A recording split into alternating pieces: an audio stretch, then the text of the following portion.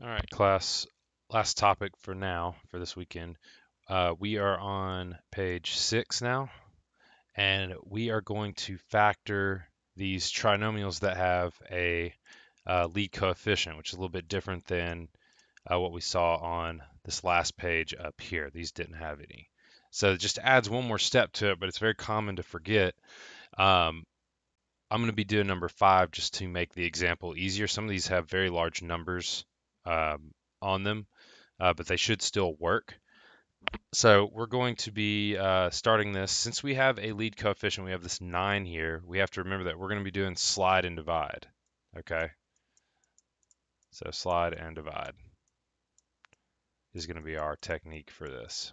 We only do this when there's a number in the front. So I'm going to take that, slide it.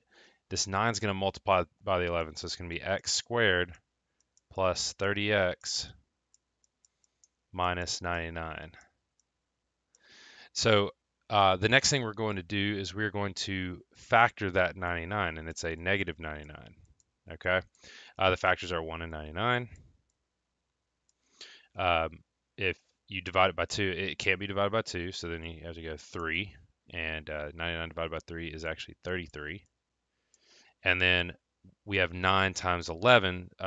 That's we know that this is a factor. Think about, and then we try to think about the others between nine. So four doesn't work, five doesn't work.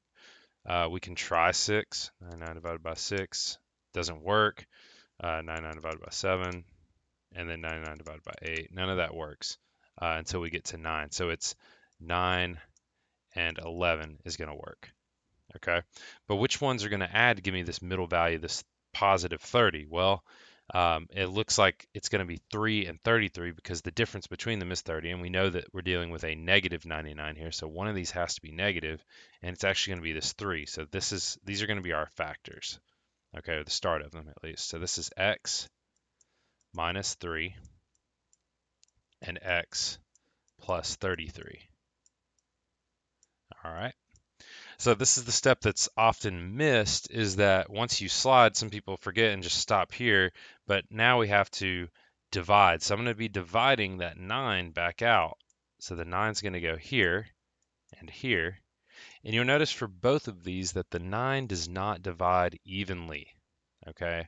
Um, and normally what that means is we just bump it to the front. But in this case, we can still simplify this fraction. And you need to do that whenever you can.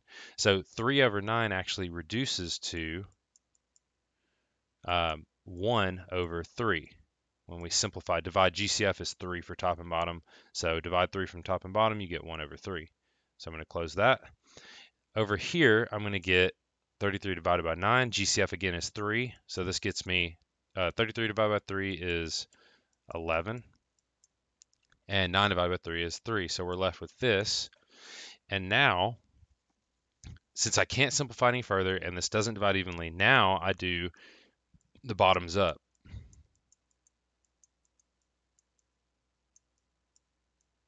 Okay. It means I take the bottoms of these and I move them to the front. Right there. So what that gets me is my final answer, which is 3x minus 1 times 3x plus 11. Okay. All right. Uh, so an easy example to start with to practice this would be question number one. Question number two would be a little more challenging just because it's higher numbers. And then question four, uh, I'm not going to make it to where you have to do three and six. Those numbers are just very large.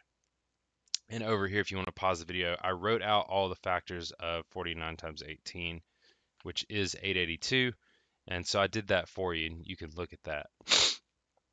Best technique for these large numbers is to think of the factors of the numbers that you multiplied. So 49 has 7 as a factor. And then 18 has 2, 3, and 6. And you'll notice that all of my factors here happen to be either multiples of those factors I just listed or exactly those factors. 2, 3, 6, 7 are all a part of this set because they are factors of these. So that's helpful when trying to determine these. Uh, but you can pause and, and copy this down on number four, but you're definitely going to need to finish this problem. Okay. Uh, I'll leave you with that. and uh, good luck.